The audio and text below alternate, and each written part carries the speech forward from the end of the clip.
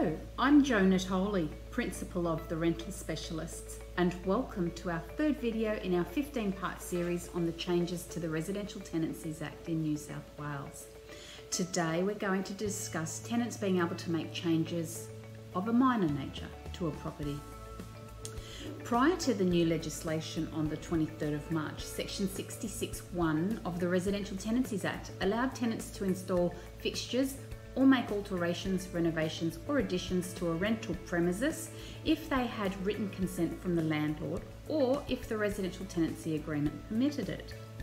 The Act went on to say that the landlord must not unreasonably withhold consent if the change requested by the tenant is of a minor nature. That seemed straightforward enough, but no one knew what minor nature meant. A new section 66.2a has now been inserted into the Residential Tenancies Act, setting out that certain alterations, additions, renovations, and fixtures may be prescribed as of a minor nature, and that the landlord isn't able to unreasonably withhold consent. Also, with respect to some of the prescribed minor natures, the landlord may give consent on the condition that an appropriately qualified person makes the change.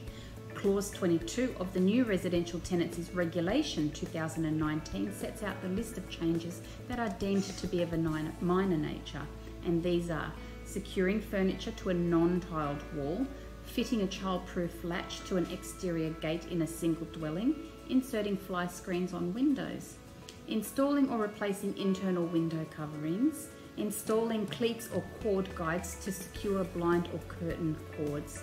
Installing child safety gate inside the premises, installing window safety devices, installing handheld shower heads or lever style taps to assist elderly or disabled people, installing or replacing hooks, nails and screws for hanging paintings, picture frames and similar items, installing a service to connect a phone line or access the internet, planting vegetables, flowers, herbs or shrubs, providing no existing plants are removed and shrubs will not be more than 2 metres high.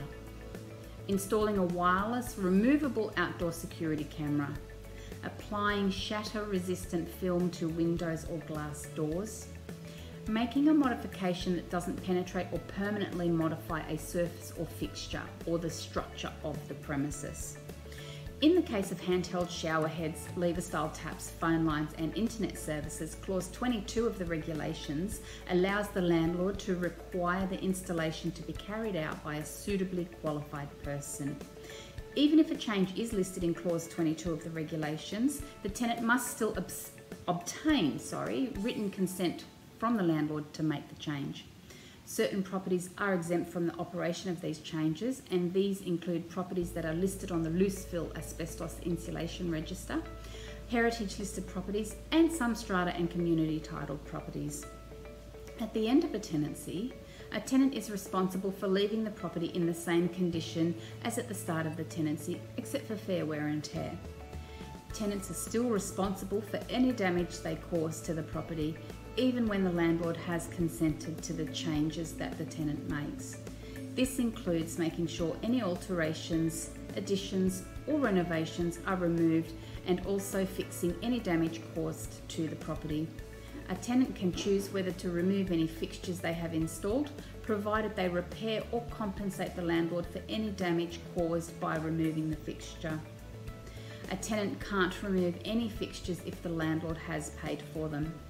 Landlords can apply to the tribunal to seek compensation from the tenant for the costs involved if the work is not done to a satisfactory standard or if the work is likely to adversely affect the landlord's ability to release the property to other tenants if it is not corrected.